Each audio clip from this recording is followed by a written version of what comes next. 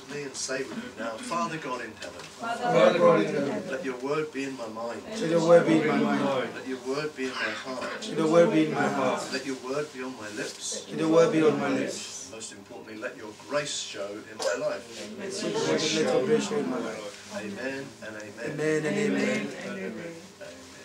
We turn to Ezekiel chapter 34, and we'll read it from verse 11 to 16 and 20 to 24.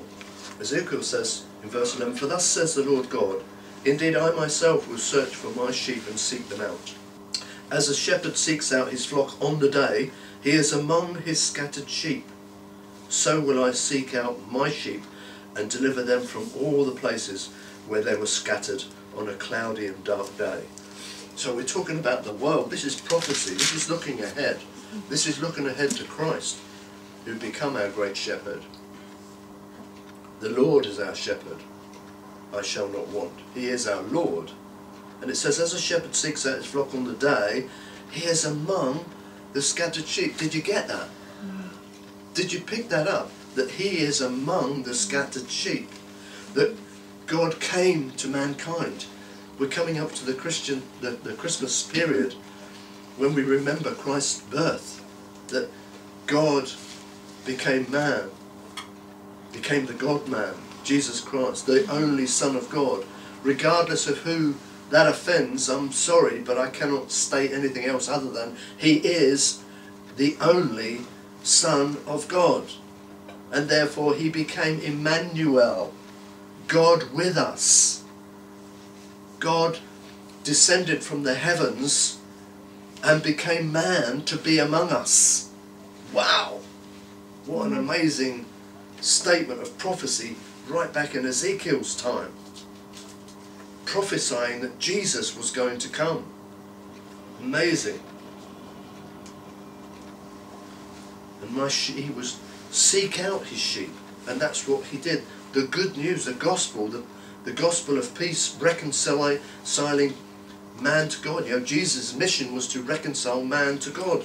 It was a peace mission.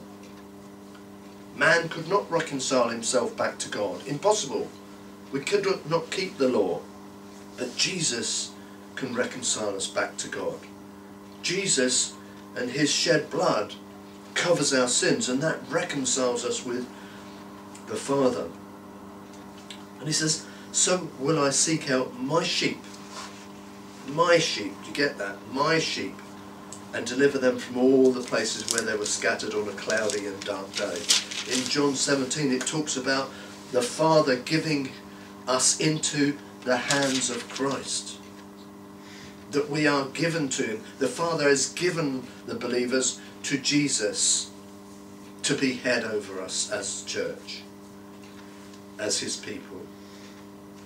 And it says He's going to deliver them all from all the places where they were scattered on a cloudy and dark day. In other words, the world is in darkness. There's many things going on in the world that we are into. Many of us were into dark things. Many of us were, were actually under a cloud. We were oppressed, but then sometimes we were also oppressive because we were under a, a dark cloud. We're under a cloudy darkness. We were fallen creatures. We were no longer enlightened. We did not understand spiritual things. We were living in the flesh and under the control of Satan and the influence of the world. And he came and he chose us and he, he, he seeked us out. He sought after us. He came and found us. We didn't find him. We think we did, but no.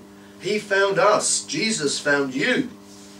Now, how does that make you feel when you know that Jesus has found you? Isn't that amazing? That's really weird. I can't even see myself on the video. Okay, so maybe I can do something with the first two. So, get back to where we were. So, where were we? A cloudy and dark day. So where were you on that cloudy and dark day? Think about that for a moment. You know, when we come to do our testimony, for example, we testify to what our life was like before we met Christ, how we met Christ, and what our life has become like after we've met Christ. Now, if there's no change before we met Christ, and how our life is after we've met with Christ, then we need to go back to the drawing board and say, hmm, something's not adding up. Life and limb are not, lip and life are not adding up.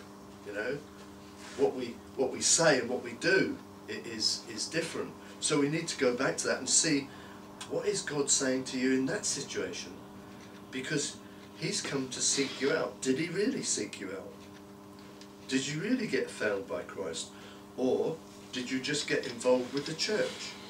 Did you just begin to think, oh, try and be a better person? Did you just start to think, well, you know, it makes sense and this is a policy that keeps me from hell, I'll go for that. Sometimes it's just a mental assent. You just read scriptures and think, okay, I'll just follow that. Seems like a good idea, seems okay. But that's not salvation. If nothing's changed, if your heart's not changed, you haven't been touched by God yet. The Holy Spirit's work is to open your eyes and recognize Jesus. That's his work. It's God's job to judge. It's Jesus' job to, to show you how much he loved you. You know, it's the Holy Spirit's work to reveal Jesus to you so you understand who he is. That he truly is God, the Son of God, incarnate, someone who came to be with us. Verse 13 says, And I will bring them out from the peoples and gather them from the countries, and I will bring them to their own land. I will feed them on the mountains of Israel, in the valleys and in the inhabited places of the country. I will feed them in good pasture, and their fold shall be on the high mountains of Israel. There they shall lie down in a good fold, and feed in rich pasture on the mountains of Israel. I will feed my flock, and I will make them lie down, says the Lord God. I will seek what was lost, and bring back what was driven away bind up the broken and strengthen what was sick, but I will destroy the fat and the strong and feed them in judgment.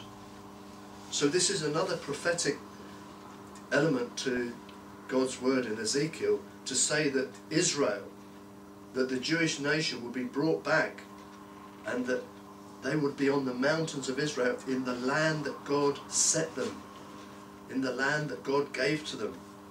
And nothing is going to uphold, nothing is going to destroy that. Only God can change these things. And obviously, there's been times when the people of God have been scattered. But He's going to seek them out as He did. And He brought more back to Israel as it is now. They've been scattered right around the world. And God brought them back. He brought His sheep back. These were the sheep of His fold. But then there's also the sense in which we become the sheep of His fold as Christian believers.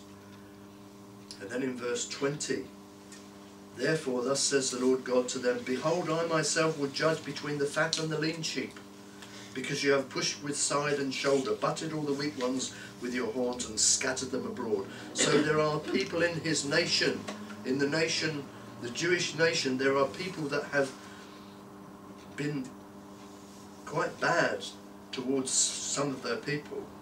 They're not all good sheep. They're not all working in the way that God wanted them to. So even though as a nation they are blessed, there's still as- aspects of people in that nation that are going against God, that are disappearing and hurting other people and pushing them away and scattering them.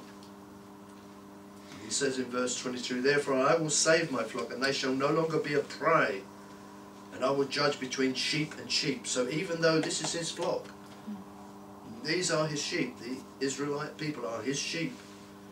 He's going to judge between the sheep in that fold. Verse 23 I will establish one shepherd over them.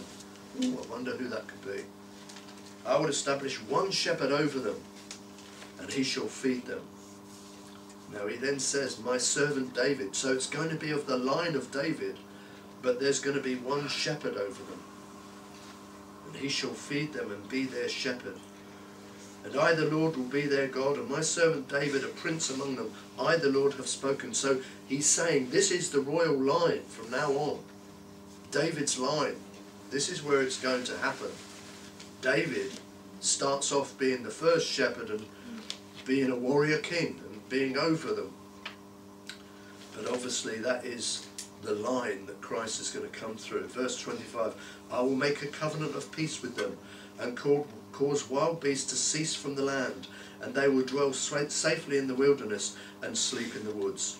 I will make them and the, and the places all around my hill a blessing, and I will cause showers to come down in their seasons. There shall be showers of blessings.